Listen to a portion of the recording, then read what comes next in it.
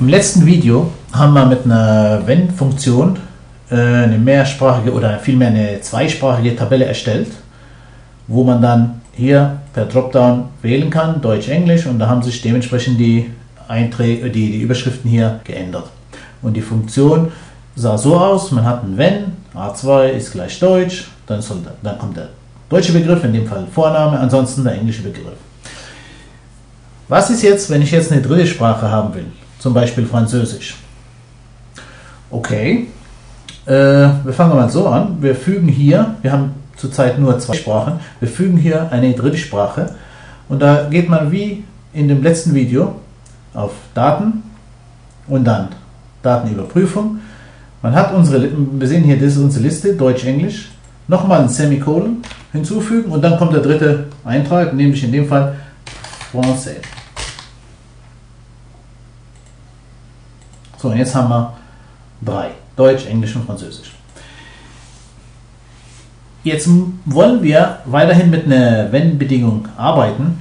Die Frage ist, wie kann man die Wenn-Bedingung erweitern? Äh, vom letzten Video wissen wir, dass die Wenn-Bedingung nur zwei Möglichkeiten erlaubt, dann und sonst. Wir brauchen jetzt aber drei, weil wir jetzt nicht nur zwei Sprachen haben, sondern eine dritte, nämlich Französisch. Da ist eine simple Wenn-Bedingung nicht mehr ausreichend, sondern man braucht jetzt zwei Wenn-Bedingungen. Eine in der anderen verschachtelt. Eine Skizze habe ich dann hier gezeigt. Und zwar, da sieht man hier, hat man die ursprüngliche Wenn-Bedingung, wenn, Vergleich, dann sonst. Und dann im Sonstwert kommt eine weitere Wenn-Bedingung, die dann weiterhin auch ihre eigenen Dann- und Sonstwerte hat. Das heißt, Vorher war es bei uns so, Sprache ist gleich Deutsch. Dann hatten wir hier den deutschen Begriff, Vorname, und hier den äh, englischen Begriff, äh, Name. Jetzt, das ist hier nicht mehr ausreichend, weil wir jetzt drei Sprachen haben. Dann kommt hier eine zweite Prüfung. Wenn Deutsch ist Vorname, ansonsten kommt hier die zweite Bedingung, die zweite Wenn-Bedingung, Sprache ist gleich Englisch. Dann äh, kommt der englische Begriff, name. Ansonsten, dieses sonst heißt, es ist weder Deutsch noch Englisch, dann an, ist dann, was übrig bleibt, nämlich der französische Begriff, nämlich Prénom. Okay? Und natürlich kann man das dann auch umgekehrt machen, indem man sagt, okay, man kann es auch so machen, Sprache ist Français, dann kommt dann halt umgekehrt hier erstmal der französische Begriff und hier unten dann der englische Begriff. Ich mache das ein bisschen breiter, dass man das sehen kann. So. Das heißt, wenn die Sprache Deutsch ist, Vorname. Wenn es nicht Deutsch ist, dann ist sie Französisch, okay, Prénom. Ist es weder Französisch noch Deutsch, dann kommt halt der englische Begriff. Nee. Das könnte man jetzt hier implementieren. Wir gehen jetzt in unsere Wenn-Funktion. Da ist unsere Wenn-Funktion. Es gibt jetzt mehrere Möglichkeiten, wie man das implementieren kann. Man kann es einmal mit dem Assistent probieren. Das machen wir gleich. Und hier, laut Skizze, muss hier jetzt eine zweite Wenn-Bedingung hier reinkommen. Und dann mache ich das Name weg. Jetzt eine weitere Funktion kann ich mit diesem, mit diesem Feld hier, das Feld ist neben der äh, Bearbeitungsleiste, ist hier ein Feld. Ich kann natürlich direkt auf Wenn klicken, aber nehmen wir an, ich sehe die Wenn-Funktion und die Wenn-Funktion steht nicht hier. Dann kann man hier auf den Pfeil klicken. Man kann entweder hier äh, die Funktion wählen oder, sagen wir mal, wenn wir die Funktion auch hier nicht sehen, dann kann man hier auf weitere Funktionen gehen und man gelangt zurück zu diesem Funktionsassistent. Auf alle und da könnte man eigentlich theoretisch die Wenn-Funktion auch so ähm, äh, anklicken. Da ist sie. Okay? Und man sieht jetzt von der Bearbeitungsleiste, das ist unsere erste Wenn-Funktion, die ursprüngliche, und hier ist die zweite. Die zweite ist in der ersten verschachtelt. Deswegen nennt man das, was wir jetzt gerade machen, verschachtelte Wenn-Funktion. Das heißt, eine, eine Wenn-Funktion in der anderen. Jetzt hier geht das wie gehabt. Hier hat man Deutsch, Vorname, ansonsten. Jetzt machen wir hier laut Skizze, soll das dann heißen, die Sprache ist, ist wie gehabt in A2, ist gleich. Français ist ein Text, deswegen auch wieder die Gänsefüßler. Was soll, wenn Français ist, ist dann Prénom. Ansonsten ist es dann der englische Begriff. Okay? Und wenn ich jetzt, man sieht, hier sind wir, das ist die zweite Wenn-Funktion. Wenn ich in der ersten Wenn-Funktion äh, rein will, muss ich einfach hier in der Bearbeitungsleiste klicken.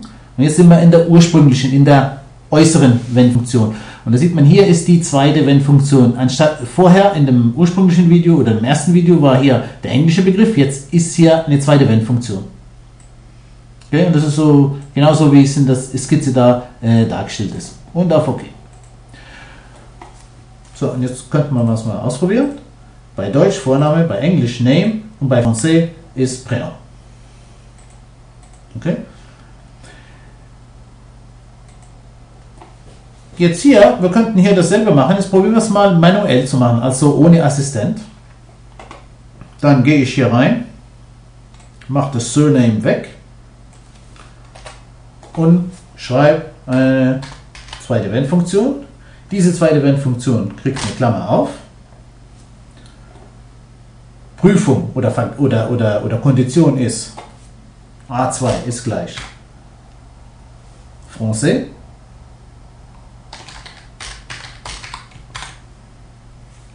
dann ist der Begriff non. Ansonsten kriegen wir den englischen Begriff, nämlich Surname. Und jetzt nicht vergessen, eine Klammer zu. Ja, wir müssen hier am Ende zwei Paar Klammern haben. Einmal für die innere Wenn und einmal für die äußere Wenn. Und so hat man jetzt das zweite gemacht. Bei äh, Geburtsdatum und, und, und Firma könnte man genau dasselbe machen. Und zwar, wir können das dann einfach kopieren. Ja, mit Steuerung und C habe ich diesen Teil kopiert und kann dann hier anstatt Birthdate kann ich dann das dann einfügen. Man sieht hier, durch das äh, Fenster ist, ist, man sieht nicht die ganze Form. Man kann diesen Formelbereich einfach erweitern oder tiefer stellen. Und so, und jetzt muss ich nur noch äh, hier den, äh, den, den, französischen Begriff für Geburtsdatum, das ist Date de naissance. Wir machen es mal Naissance. Naissance.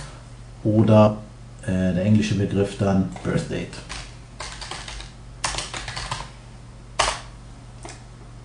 Und bei Firma werden wir genau dasselbe machen. Wir kopieren es erneut.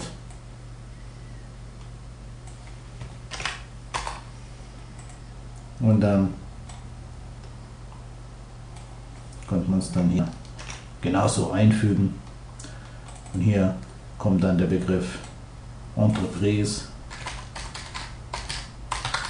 oder Company. Ja, wenn man das jetzt testet, Deutsch haben wir Englisch und Französisch. Und weil es so schön war, könnte man es nochmal probieren. Wir, wir können es mal so von, von 0 alles erneut erstellen.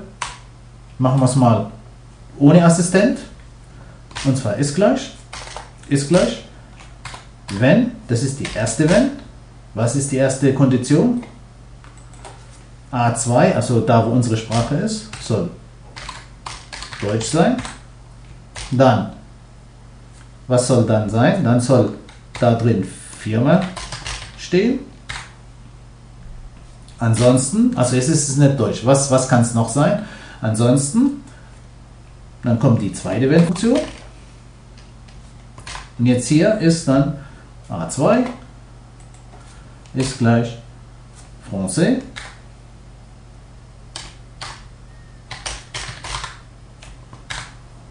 Dann was?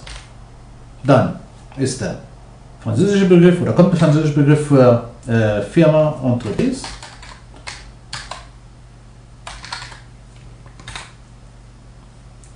Sonst kommt der englische Name für Firma und das ist Company.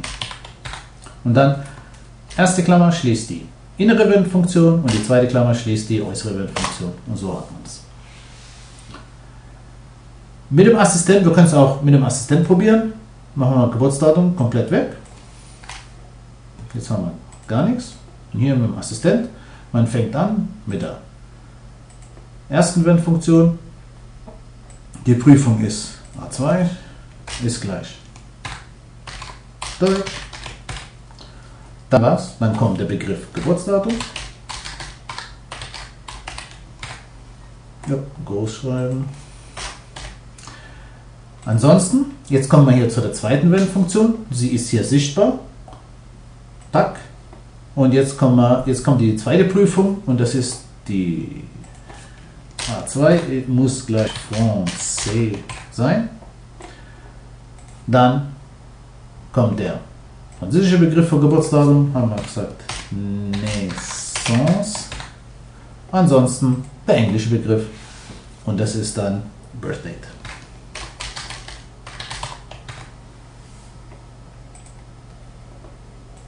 Und so sieht man, hat man dann eine mehrsprachige Tabelle. Jetzt, wenn wir jetzt weitere Sprachen hinzufügen wollen, nehmen wir mal an Spanisch oder Italienisch, dann müssten wir weitere Wenns hinzufügen und diese Verschachtelung macht das Ganze dann immer komplizierter.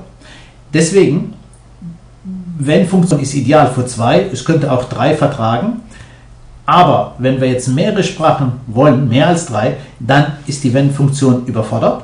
Und da kommt eine andere Funktion im Spiel, das heißt, die heißt S-Verweis. Das machen wir dann im nächsten Video. Äh, mit dem S-Verweis kann man dann beliebige Sprachen haben und das wäre dann eine einfache äh, Lösung für, für unser Projekt hier, weil wir mit der Wenn-Funktion